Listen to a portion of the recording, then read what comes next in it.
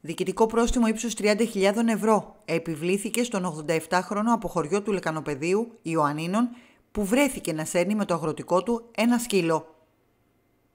Στο Συλληφθέντα επιβλήθηκε το διοικητικό πρόστιμο ύψο 30.000 ευρώ, ενώ από το αστυνομικό τμήμα Ιωαννίνων προχώρησαν στις δέουσες ενέργειες για την περισυλλογή του ζώου και τη διενέργεια κτηνιατρική πραγματογνωμοσύνης από τις αρμόδιες υπηρεσίες. Από την πραγματογνωμοσύνη θα προκύψει ο πραγματικός λόγος θανάτου του σκύλου και θα διαπιστωθεί αν όντως ήταν νεκρός όταν ο ηλικιωμένος τον έστρανε ή αν ξεψύχησε κατά τη διάρκεια.